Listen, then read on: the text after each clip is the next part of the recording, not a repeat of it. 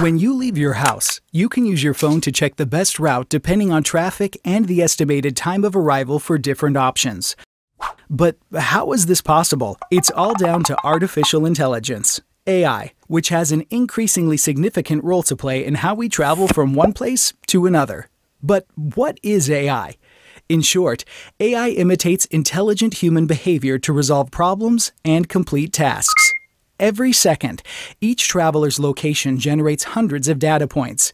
As it happens with intelligence and human behavior, this data is processed and used for reasoning, problem solving, and learning. This is why machine learning has become crucial to make AI possible. By feeding the machine with huge amounts of data, the AI system learns from the data to identify patterns and make predictions and forecasting. By continuously analyzing the updated influx of data, the machine can constantly change and adapt its predictions accordingly, in contrast with the traditional programming approach based on rules that need to be followed.